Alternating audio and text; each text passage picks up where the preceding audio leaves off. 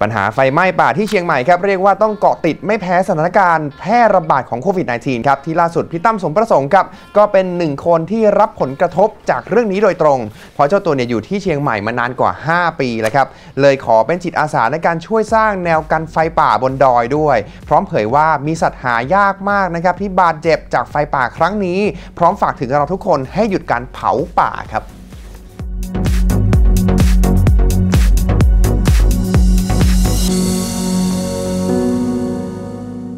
จริง ๆ ตอนนี้ดอยสุเทพปุยดับเกือบหมดแล้วนะครับ ยังมีพื้นที่ที่ดับเยอะ ๆ อยู่เนี่ยก็จะมีเชียงดาว แม่แตง อินทนนท์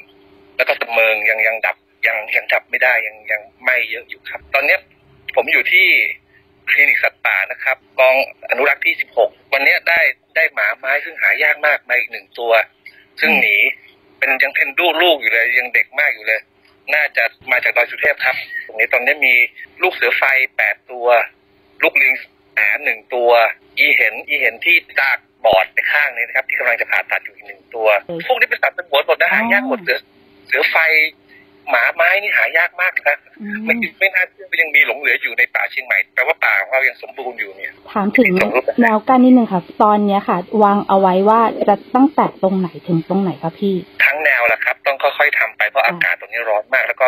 จิตอาสาหลายๆท่านก็เป็นผู้สูงวัยเนาะวันหนึ่งเราก็จะทำเราจะขึ้นไปตอนเช้าครับ ถึงประมาณบ่ายโมง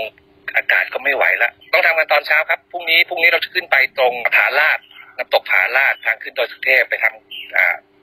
อ่าคันกั้นไฟตรงนั้นครับทำไปเรื่อยๆแล้วครับ เพราะว่า